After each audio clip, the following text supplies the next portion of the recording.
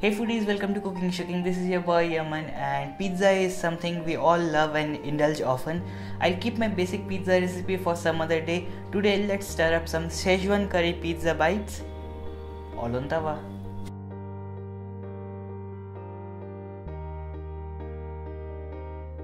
We're going to begin by making the dough for which we're going to take a cup of flour, a teaspoon of salt, tablespoon worth of milk powder, half a teaspoon of yeast proofed in warm water with half a teaspoon of sugar and a teaspoon of oil. Mix the ingredients to form a clumpy mass. Now take this down to the counter and knead it to a soft dough using warm water if required. All smooth. Place it in a greased bowl for an hour to proof. Once doubled, divide the dough into two portions. Take a portion and roll it down to about 5 to 6 inches. Break this all over with a fork. Now this goes on top of a warm tawa and we're going to cover it with a lid. You can also use a pizza pan instead of a lid like I am doing here.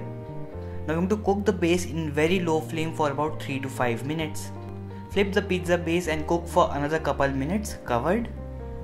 Now take the base out and repeat the process with another part of dough. As the pizza base is ready, time to assemble it. Spread Schezwan chutney all over the pizza base.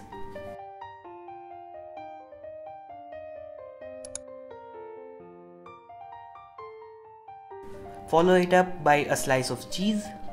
Sprinkle in a good sum of masala magic or your favorite curry powder.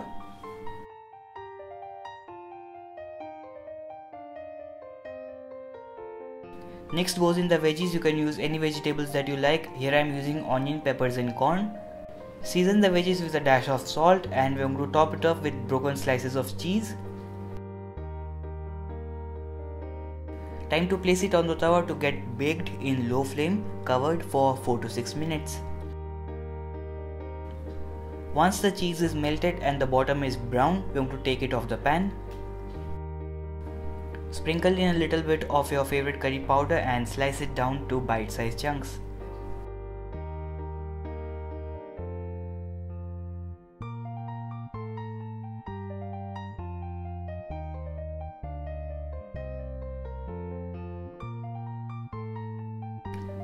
Now all that's left is to serve this. Little bites to appease your cravings, this Schezwan curry pizza is amazing. Try it out and let me know how you liked it. Oh yes, Q&A coming up soon, so ask away your food cues in the comment section below. That's all for today. Smash the subscribe button to receive notifications as soon as we publish new recipes. Thank you, bye, take care and happy cooking.